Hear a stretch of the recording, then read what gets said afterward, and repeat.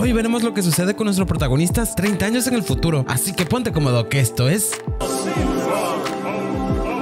Fiestas de un futuro pasado. Ahora sí viene lo chido. Esta historia inicia con toda la familia terminando de cenar un rico pavo en el día de acción de gracias, dando inicio a la temporada navideña. Y es hora de tomarse la fotografía para las tarjetas de Navidad. Lizzie Bar les dice que es muy estúpido tomarse foto cada año, que ellos nunca tendrán hijos ni familia para no continuar con esta estúpida tradición. El caso es que cuando se toman la fotografía, vemos cómo van pasando los años.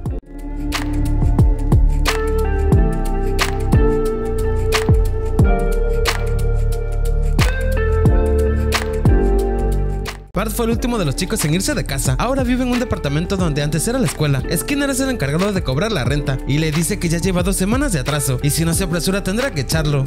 En eso recibe la visita de sus dos hijos. Aunque a ellos no les gusta estar con Bart, su madre los obliga a quedarse con él durante las fiestas. Dice que eres nuestro padre y que debes actuar como tal. Por otro lado, Lisa se casó con Milhouse. Ellos tienen una hija muy rebelde, está tatuada y se la pasa en línea. Como Milhouse está enfermo, le dice a Lisa que ella y su hija deberían pasar esta Navidad con sus padres. Luego vemos que Maggie está embarazada y no podrá cantar en su banda de rock. Igual no sabe ni quién es el padre de su futuro hijo. Homer y Marge pasaban la noche como de costumbre, hasta que le llegó un mensaje de Maggie diciéndoles que pasará la Navidad con ellos. Igual Bart le dice que se dirá con los gemelos y resulta que Lisa llevará a su hija, así que la familia se reunirá de nuevo. Por fin llega el día. Bart y sus hijos armaban el árbol de Navidad. Allí los niños le dicen que su madre se ha vuelto a casar y su nuevo esposo es mucho mejor que él y se pone todo triste. Así que le pide a Homero que salga un rato con los gemelos. Gracias por pasar tanto tiempo con nosotros, papá. La única que no ha llegado a casa es Maggie, ya que como está embarazada no puede usar el teletransportador y tendrá que viajar en avión. Lisa le pide un consejo a su madre, ya que su hija cree que ella es una mala persona y prefiere estar en línea todo el tiempo. Por otro lado, Homero le enseñaba a los gemelos cómo es la nueva ciudad de Springfield.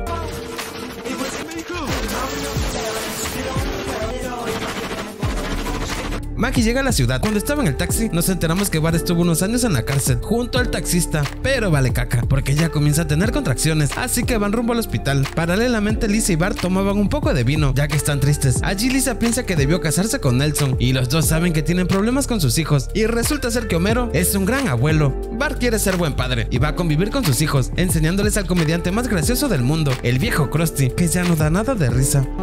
Llega la víspera de Navidad. Marcia estaba visitando a la familia de Apu cuando se entera que Maggie está por dar a luz. Ella busca a Lisa, aunque esta la corre. Ya que entra a la red, allí se encuentra a Nelson, aunque lo ignora, ya que su hija es más importante. Luego de buscar un rato, por fin encuentra su habitación virtual. Pero antes vemos que Bart anda buscando a los gemelos, porque resulta que Homero se los llevó sin permiso. Llega a la taberna de Moe, donde vemos que todo sigue igual. Ahí se encuentra Carl y Lenny, quienes han cambiado de cerebro. Ahora Carl es Lenny y Lenny es Carl. Oye, oye, despacio, cerebrito. Ellos le dicen que Homero llevó a los gemelos a visitar al abuelo. Liz encuentra la habitación de Cia y ve que ella la admira, así que como se da cuenta que la quiere, hacen las paces. Homero está con los gemelos en una cámara de congelación. Allí descongela un segundo al abuelo y le dice a los chicos que todos piensan que sus padres son unos fracasados, pero como pasa el tiempo, se dan cuenta que realmente los aman. Así que les pide que por favor le den una oportunidad a Bart. En eso llega y por fin se reconcilian. Igual Homero hace las paces con el abuelo.